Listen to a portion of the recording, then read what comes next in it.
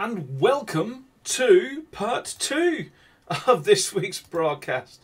I do apologise, my machine totally froze and whirled and crashed, and I had nothing after it. I had no broadcast software, nothing set up.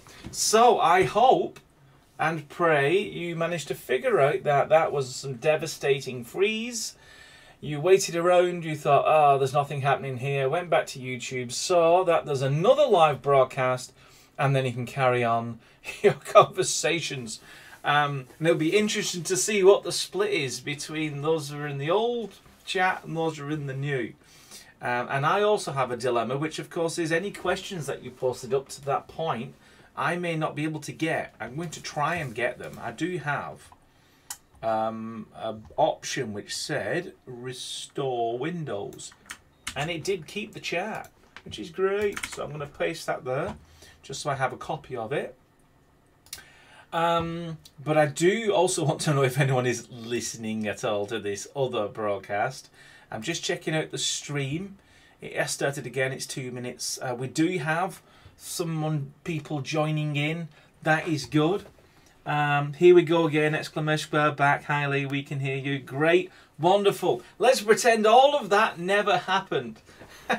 I'll stitch it together in the edit if we have the original half of this broadcast um, stored somewhere. Hopefully we do. Hopefully YouTube have been very clever and have kept it. I just need to go off and find it later on.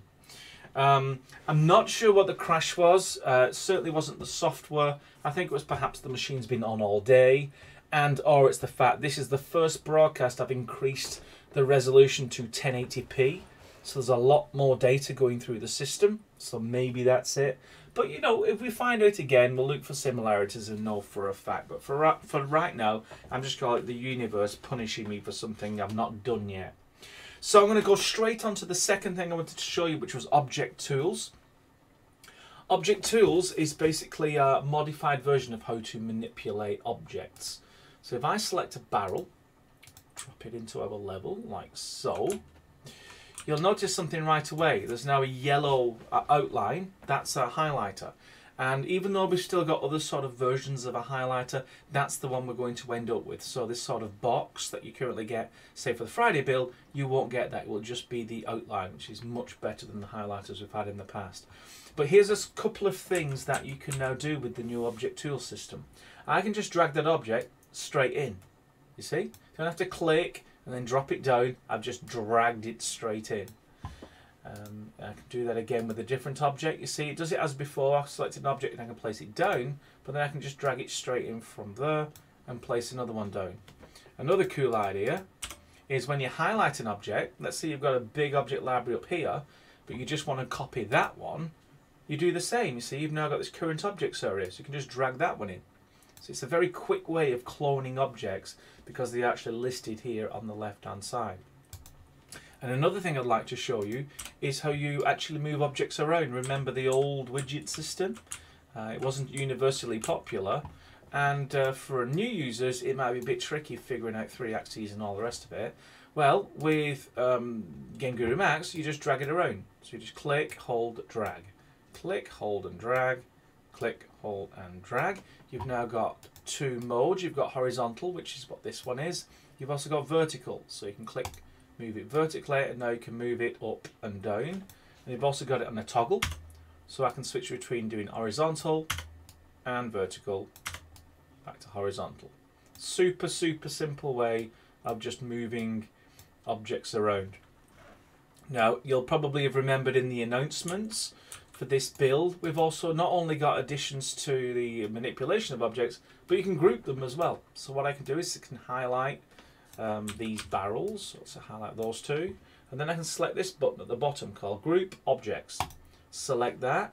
And as you can see, it's now created a group. So these two are now part of a two barrel group. I can edit that group, so I can move the objects individually within the group. And then when I've finished, I can finish editing. And now we're actually at uh, the objects in a slightly different arrangement for that group. You can have multiple groups. So I'll select these different barrels and make a group out of that. So now I've got these or I can have these which can move around like so and I can also select that group and ungroup them so the idea is these are now separate barrels again whereas this is still two objects in its own group so it's basically create the group um, ungroup them so delete the group and be able to edit a group as well. And it's it's it's pretty powerful feature because let's just get rid of these for a second. Let's say you do have this group like so and you're happy with the group that you've made you can just drag in more versions. You see you've got a group. Just like you can drag in an individual object you can drag in whole groups that you've previously created um, now it's pretty boring just looking at barrels but you can imagine if you spent a lot of time creating a group it could even be like a whole room of your building that you've laid out, then you just drag out 10 of them. So that's the power of the group system.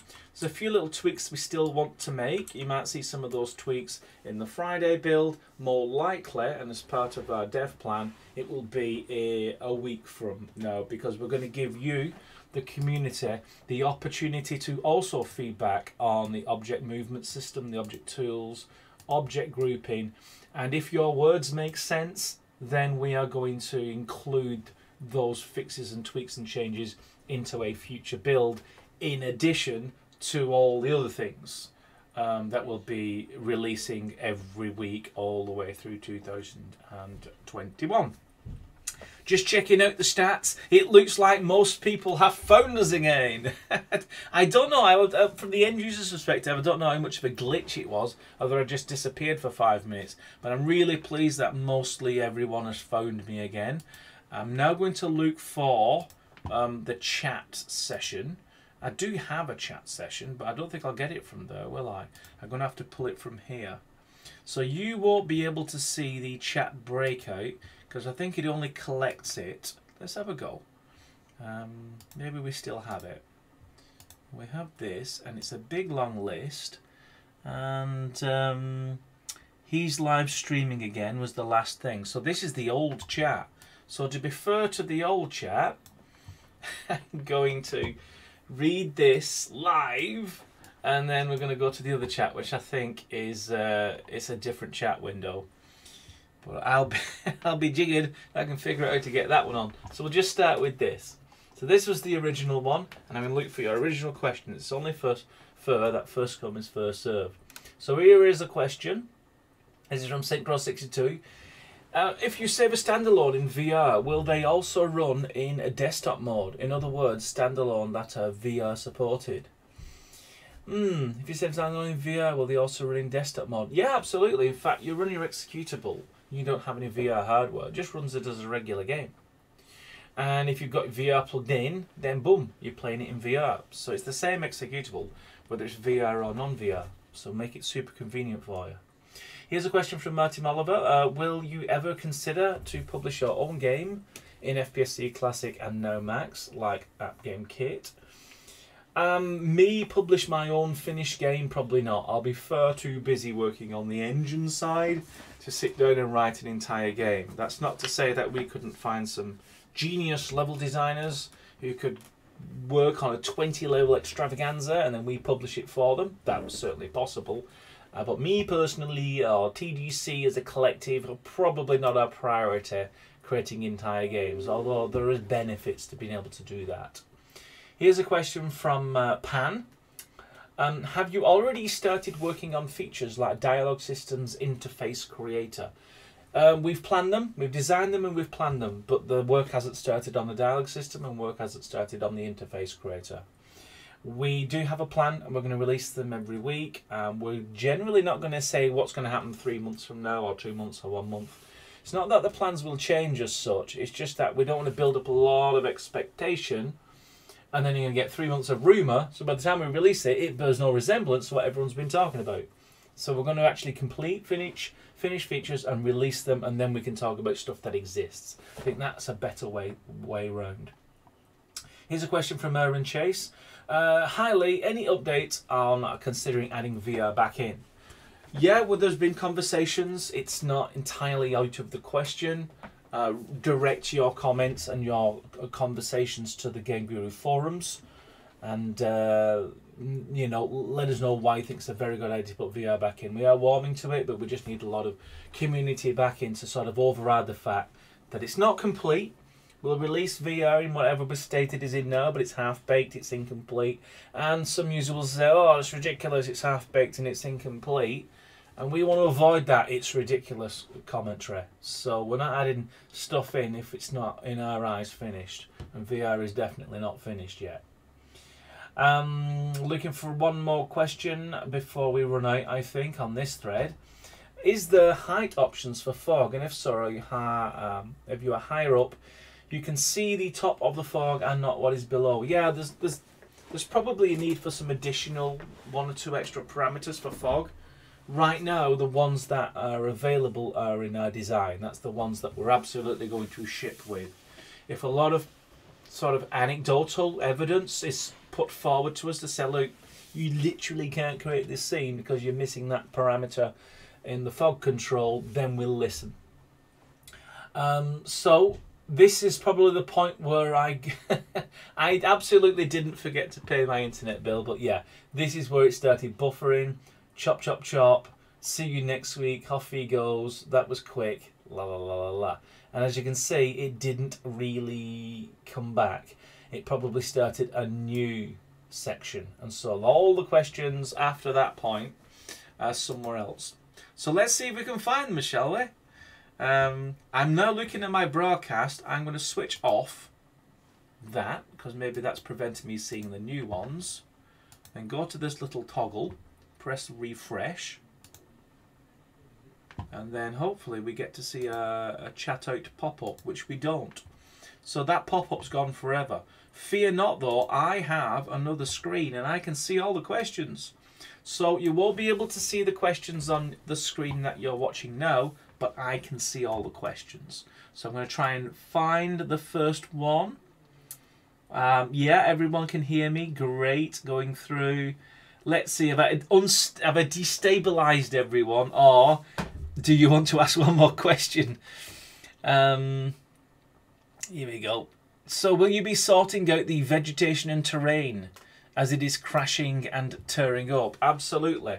The terrain that's been worked on um, soon. It's not immediately. There's something else that we're working on that we feel is more important than terrain. But once that's done, then we'll be on to terrain. And once we start working on terrain, after a short while after that, you'll start getting updates with the finished, fast, optimized, storage-friendly terrain with all the things that we want to bring to the terrain. But you're going to have to wait. But don't worry, there will be a big long gap. There's lots of other things we're going to want to show you between now and then. But by any means, this is not the final terrain, so don't worry about that. Looking for another question on my secret chat board. Um, I'm glad you increased the res. It all looks poor before. Well, I'm glad it works. I was concerned the bandwidth would just basically go crazy and you just get a lot of stuttering. So if you can see 1080p and it's all nice and fast and you can hear me, then that's great. Looks like that one worked and we can do 1080p from here on in. Looking for uh, the clock actually. Now five minutes. I'm going to deduct for the for the, the incident. Let's call it the incident. But even deducting five minutes, I am five minutes over um, my 15 minute ideal goal. So I'll pick two more questions in the order they were answered, and then we'll take the rest onto the Game Guru forums. And that next question is from FGR Freecon. The question is is the same question that I already answered in relation to the fog height. So we get to skip that and move on to the next one. I need I need learn code for this software. That's from Jordan. Um, no, it's a non-coding solution. You just select your objects, drag them in, press a button, hey presto, you've got a game. The more effort you put in, the better the game is. And you still have the option of coding in the Lua programming language for your own logic if you want to. But it's certainly not mandatory. And as that was the uh, the second to last authentic non-repeated question, I get to ask one more, and this is from Super Confidential Man. What about rotate and scale? Yeah, rotate and scale is available as you can see in the top. So I'll select this object. We've got rotate. As you can see, you can rotate it through a slider, and you can also press the R key to rotate And for scale, you select the scale and you've got a slider to make the object bigger and smaller. And that's how you would adjust the scale in the object. The idea is there isn't any secret knowledge about how to use widgets or lots of secret keys. Everything that you want to do with an object, moving it, rotating it, and scaling it, is now extremely simple and available right from this right panel. And anytime you are get confused over keyboard shortcuts, we do put them down in the right as well. We even with tooltips, when you hover over, you'll actually see what all of the different things mean. And I think I went into a little bit more detail about that in a previous in a previous broadcast. So that's the software. There's more to come. Um, they'll continue to come from now every Friday. You'll get something new to look at, and I'm really excited to talk about those things. Please do check this out on Friday. Um, if you find anything that you think, oh, that's a bug, or this is weird, or this is different, please feedback. Um, very shortly, we'll be integrating a bug tracker, so you don't even need to leave the software in order to um, report anything that you found, which will obviously again plug into a system that'll be super efficient, will allow us to find, reproduce those bugs, fix them very, very quickly, and get them into um, builds. Rather than waiting months, you'll be waiting weeks, if not a week, for your bug to be fixed. That's the system we're building right now and having in place. So that's this week's broadcast. Again, there'll be another one Wednesday at 4 pm uh, BST. I just want to remind anyone that's absolutely new to this channel, this isn't a regular occurrence doing a break halfway through like the old school intermissions. It was a genuine massive system crash. The reason is yet to be defined. I'm going to figure that out once this broadcast ends. Uh, but you can get the pre-order at 25% off, which will give you access to all these Friday builds. So the things that I demonstrate on Wednesday, you'll get to play with on Friday. So I hope you enjoyed the drama. Uh, I'll try and get a little bit more professional for next Wednesday. So until then, hope you enjoyed it, and I'll speak to you soon. Bye.